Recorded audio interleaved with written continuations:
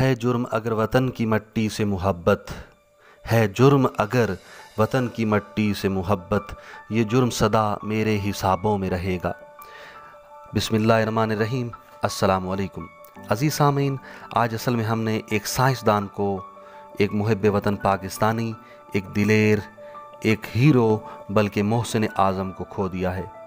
आप इस वीडियो को मुकम्मल देखने के बाद ज़रूर सोचों कि एक समंदर में गर्क हो जाएँगे कि हमने कैसी अजीम हस्ती को खो दिया है, जिसने पूरी ज़िंदगी इस मुल्क और कौम के लिए वक्फ़ कर दी थी। इससे पहले कि मैं आपके सामने डॉक्टर अब्दुल कदीर ख़ान की ज़िंदगी के अहम राजों से पर्दा उठाऊँ, मैं आपको डॉक्टर अब्दुल कदीर ख़ान की सोने हयात के बारे में बताता हूँ। अज़ीज़ सामीन जैसे हमने मोहम्मद अली जिना साहब को उल्फत से प्यार से कायद अज़म का ख़िताब दिया था। इसी तरह आज मैं डॉक्टर अब्दुल कदीर ख़ान को मोहसिन आज़म का ख़िताब देना चाहता हूँ। डॉक्टर अब्दुल कदीर ख़ान 1936 को इंडिया में पैदा हुए और उन्नीस सौ बावन में पाकिस्तान में हिजरत करके तशरीफ़ लाए। 1960 में कराची से फ़िज़िक्स में मास्टर की डिग्री हासिल की और 1972 में बेल्जियम से पीएचडी मेटलर्जी में मुकम्मल की। 1976 में डॉक्टर अब्दुल कदीर ख़ान ने इंजीनियरिंग रिसर्च लेबॉर्ट्री कायम की, जिसको 1981 में जनरल ज़िया ने डॉक्टर अब्दुल कदीर ख़ान लेबॉर्ट्री का नाम दिया। डॉक्टर अब्दुल कदीर ख़ान की मेहनत की वजह से 1986 से पाकिस्तान एटमी ताकत बन गया था। मगर इसका बाबा तौर पर मुजाहरा उन्नीस सौ अठानवे में एटमी धमाकों की सूरत में किया गया था। आज बरोज़ इतवार 10 अक्टूबर 2021 को। डॉक्टर अब्दुल कदीर ख़ान अपने खाले की हकीकी को जा मिले। ये तो मैंने आपके सामने डॉक्टर अब्दुल कदीर ख़ान का तारुफ करवा दिया है, मगर आप डॉक्टर अब्दुल कदीर ख़ान की ज़िंदगी के दो अहम राज अब जानेंगे।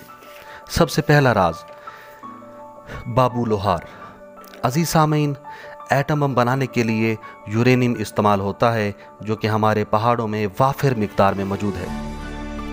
मगर ये मिक्स्ड हालत में है। मिसाल के तौर पे, जैसे हम आटे में नमक को मिक्स कर दें तो इसे निकालना इंतहा का मुश्किल हो जाएगा। मगर हमारी यूरेनियम भी इसी मिक्स्ड हालत में है। इसको अलहदा करने के लिए हमें एक सेंट्रीफ्यूज मशीन की ज़रूरत थी, जिसकी मिसाल एक मधानी से ले सकते हैं। जैसे मधानी के घूमने से दूध से घी को निकाल लिया जाता है।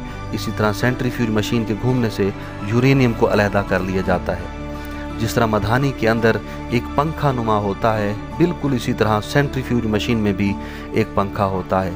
मगर सेंट्रीफ्यूज मशीन में इस पंखे को दो लाख रोटेशंस की रफ्तार से घूमना होता है, जो कि बहुत ज़्यादा है। हमारे पाकिस्तानी साइंसदानों ने जो मशीन बनाई, वो बीस हज़ार रोटेशंस की रफ्तार पर पहुँचने के बाद टूट जाती थी।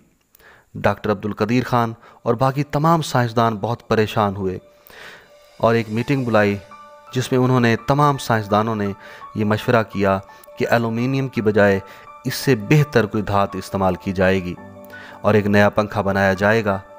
नया पंखा बनाया गया, जो कि अच्छी धात से बनाया गया था, वो भी सिर्फ़ तीस हज़ार रोटेशंस की रफ्तार तक काम कर सका। इंडिया सेंट्रीफ्यूज मशीन बनाकर एटमी मवाद तैयार कर रहा था, जिसने हमारे मोहसिन आज़म को बहुत ज़्यादा परेशान कर दिया। काम से थकावट और परेशानी के आलम में आप बाबू लोहार, जो कि एक गुजरावाला में एक लोहार थे, के पास जा पहुँचे। बाबू लोहार अपनी भट्टी पर काम कर रहे थे। डॉक्टर अब्दुल कदीर ख़ान को देखकर दरियाफ्त किया, क्या आप दरांती लेने आए हैं? क्योंकि वो गंदम की कटाई का मौसम था मगर डॉक्टर अब्दुल कदीर ख़ान ने इनको अपना तारुफ करवाया तो बाबू लोहार, जो कि लेबॉर्ट्री या एटम बम वगैरह के अल्फाज से नावाकिफ़ थे, ने कहा कि मैं आपका मसला हल करवा सकता हूँ अगर आप मुझे अपनी भट्टी पर ले जाएँ।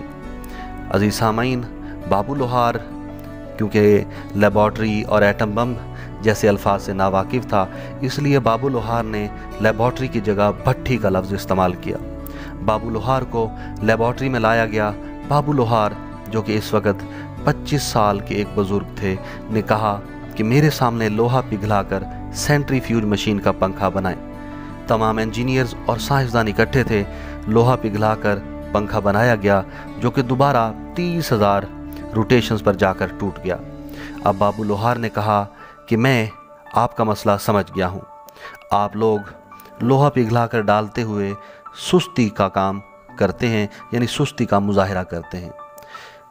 इसका मतलब ये है कि सांचे में पिघला हुआ लोहा आहिस्ता आहिस्ता डालते हैं, जिससे नीचे वाला लोहा पहले जम जाता है और ऊपर से डाले, डाला जाने वाला लोहा बाद में जमता है, जिसकी वजह से तमाम मुरक्कब कच्चा रह जाता है और वो लोहा अपनी मजबूती खो बैठता है।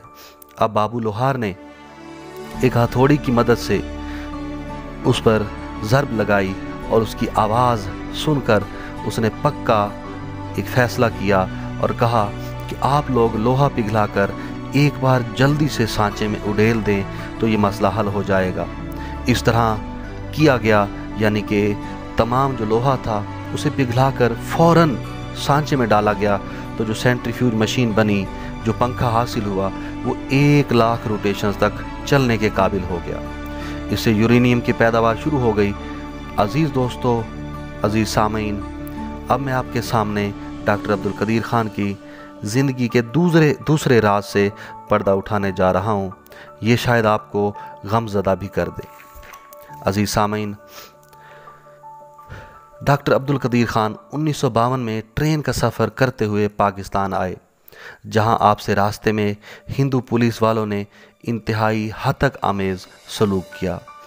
हम तो डॉक्टर अब्दुल कदीर ख़ान को हीरो के नाम से जानते हैं, मगर मगरिब वाले आज भी इन्हें एक राज फ़रोख्त करने वाला विलन समझते हैं। हॉलैंड में आपकी तनख्वाह 2500 डॉलर थी, मगर पाकिस्तान में आपने सिर्फ़ तीन हज़ार माहाना पे काम शुरू किया।